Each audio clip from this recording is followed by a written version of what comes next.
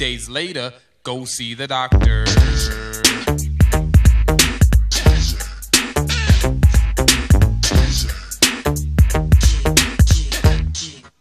I was walking down the street, rocking my beat, clapping my hands and stomping my feet.